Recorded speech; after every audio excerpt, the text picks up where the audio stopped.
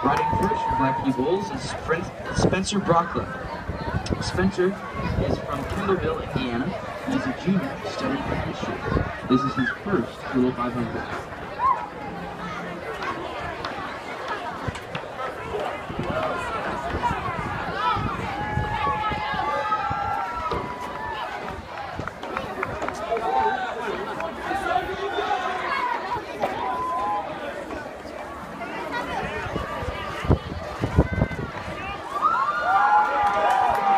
Riding second for the Black Key Bulls is Stephen Gomez. Stephen's from Bloomington, Indiana, and he is a senior studying accounting. This is his first Little 500.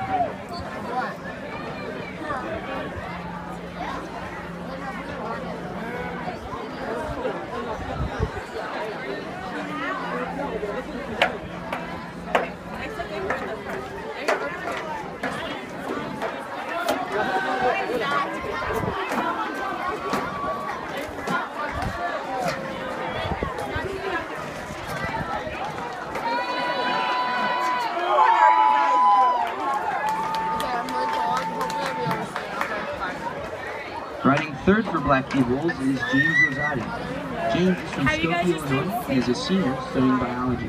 This is his first Little 500.